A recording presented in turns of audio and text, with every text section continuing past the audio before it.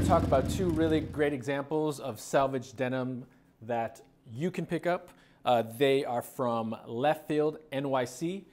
This is 18 ounce selvage denim. These, they do three different fits in the 18 ounces. There's the uh, greaser fit, which I have here. There's the Atlas and then the Chelsea, which are a bit on the slimmer side, but I like a straight fit and this is the greaser fit. So this is what I'm gonna be talking about. I bought one that is uh, loom, this one is loom, and this one is slubby. So uh, you don't have to buy both like I did, but you can buy one or the other.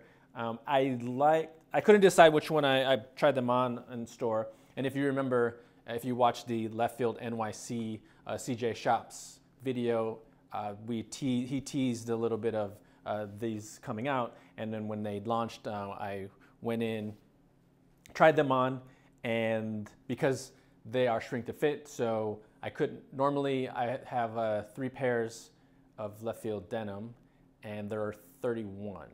These I had to go up to 33 because these are shrink to fit, and so I, I think I put on, initially I put on a 31, and I couldn't close it because I was like, this is what I normally wear. And then so he said, you want to go to 32? I was like, no, let's go to 33 because I could tell that I, it wasn't going to close. So these are 33 if you're wondering.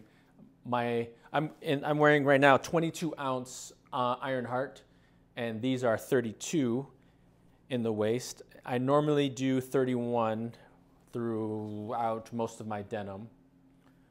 Yeah, throughout most of my denim I do 30, and some 30s, but maybe not anymore after the pandemic. but uh, 33 because they did a little shrinky shrink. They did a hot wash and a dry on these so that they won't shrink anymore. And then the details on these, if you remember, I'm gonna go into them as well. Very impressive. This, I'm really digging. So these 22 ounce Iron Heart, I really got into like a nice, thick, heavyweight denim. I really like that, especially in cold weather. It's just, it's nice. 18 ounces is gonna be great.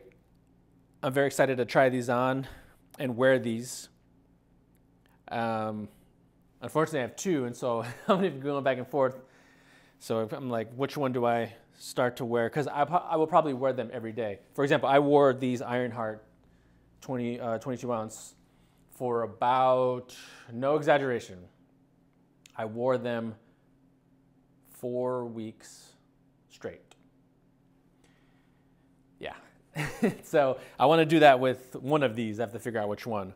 But I'm going to try them on so you guys can see them, see the fit. Uh, I like the greaser, like I said, because it's just a straight fit, and I'm not really into too much of like a skinny, a skinny fit, especially because I want to be able to get uh, the shaft of my boot um, over the leg and not have it kind of like where you see where the shaft is when you move on a skinny jean. I don't really like that. So we'll go into some of the details on these.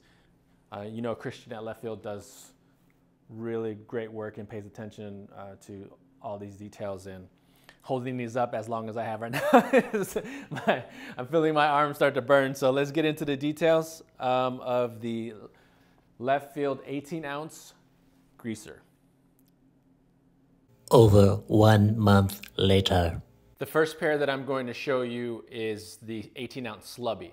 I wore these, these probably have about uh, two weeks wear and this is what they look like now, kind of shaping to my body as you can see. Uh, I am not wearing a belt, so you can see the waist on the pants. And I started with, I don't, I say, why did I start with the slubby? I think I was kind of excited just to see how they would look after a few wears. My pockets are empty so you can see the shape. Normally I do have, you know, some coins in my pocket, my phone, and some money. So you can see I took everything out so you can just see how the pants kind of drape. This is the 18 ounce slubby denim from Collect Mills Japan. And it's with one wash, a hot dry to remove any of the shrink.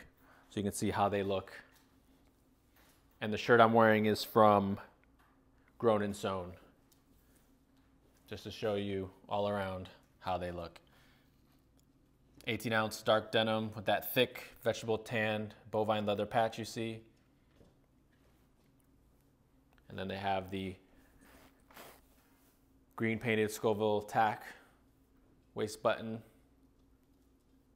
It's just really nice. So now I'm gonna put on the greaser, the loom state collect mills so you can see how those look on. Now those I have not worn versus these which I have worn. So those are gonna look a hell of a lot different because those still have the tag on them. So I'll go put those on right now.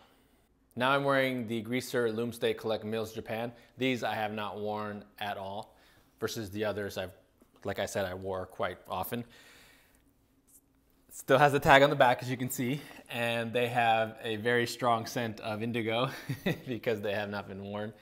So the, uh, the Loom State Collect Mills, um, Loom State means that it is the raw off the loom. So there's no sanforization, um, which means it's like the most natural state um, with the maximum texture and softness in denim. So this, this is what you're getting with these. I should, I should have started with these, but what I'm gonna do is I'm taking a trip pretty soon and it's three weeks, four weeks, something like that. So I'll probably take these. I'm trying to decide which pair. I only want to take one pair of jeans. And if I take these and wear these for four weeks straight, we'll start to get, they'll drape nicely. You can see these kind of, they're, the way they're draped now, it's just, they're not shaped to me like the others. And again, I don't have a belt on, so you can see that thick vegetable tan bovine patch in the back and the pockets, you know, nothing in the pockets and like the others. So just wanted to show you guys what the greaser fit looked like.